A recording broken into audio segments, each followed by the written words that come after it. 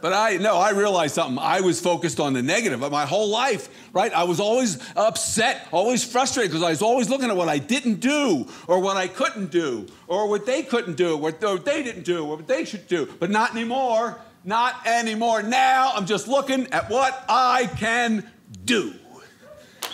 Right? Because look what I can do. Look at that.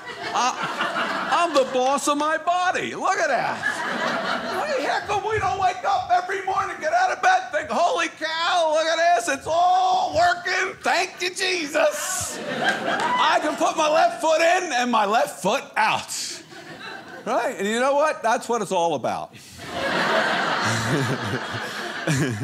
we could live with so much more freedom right? Right? Have fun, right? We could wake up every day and give ourselves a new walk. Wouldn't that be fun? You go to work, hey Jim, how's it going? It's me, Paul. right? Every day, you got the boss telling you what to do, right? Well, maybe he didn't tell you how to do it. Right? Sure. I'll get that for you, Mr. Boss Man. Might take a while. Today I'm a sea turtle. the journey, not the destination. yeah, but I try to stay positive. Right? Know what I've been doing lately? My motto and my affirmation I want to find good news in everything. Because you can. What you focus on grows. I want to find good news in everything. Uh, uh like, for instance, for instance, uh, uh, about six months ago, I had my license revoked.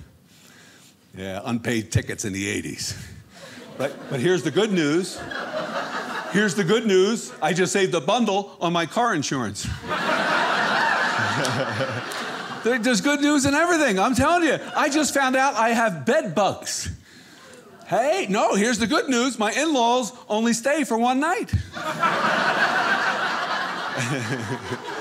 right? There's good news in everything, right? If you're over 50, all the music you love is in the dollar bin. Right? Yeah. when I sit, my, if I sit for more than 20 minutes, my back goes out. Right? The good news, every 15 minutes I have to get up to pee. Yeah. There's good news in everything. I try to be positive, but you know what? My first thought is always negative, right? I always think the worst, and then I make the best out of that. Right? Yeah, anyone else do that? Right, right? I'm like a paranoid optimist. Right? It's the Murphy's Law of spirituality. Right? Anything that can go wrong will go wrong. But it's all for the best. right? But like as a kid, as a kid, the only way I was able to get to sleep was convincing myself that the monster under my bed could beat the crap out of the boogeyman in the closet.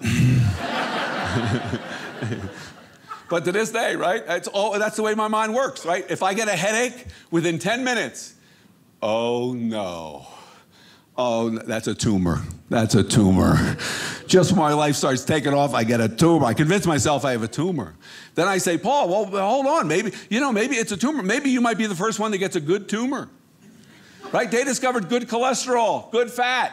They might discover it, right? Doctor's gonna be like, Mr. Lyons, we can't believe it. Your tumor burns fat and builds muscle.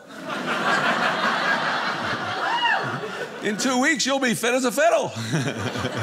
right? And I start thinking, wow, they're going to name the tumor after me. I could have a famous tumor. There's Lou Gehrig's disease. Right? Doctor's going to be like, sir, you got Paul Lyons tumor. What's that? It's an abnormal growth in consciousness. You're going to find good news in everything. But, Doc, what about these heart palpitations? Why, that's opportunity knocking. Wait to meet the nurse that works at the defibrillator. Yeah. Uh, Yeah.